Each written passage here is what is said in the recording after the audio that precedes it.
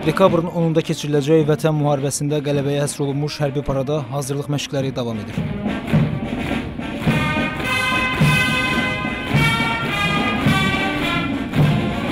Azadlıq meydanında keçiriləcək hərbi paradda 3000 nəfərdən artıq şəxsiyyət, 150-yədək hərbi texnika, hücumlədən silahlanmaya yeni qəbul edilmiş müasir hərbi texnika, raket və artilleriya qurğuları, hava hücumundan müdafiə sistemləri, eləcə də hərbi gəmi və katerlər nümayiş etdiriləcək.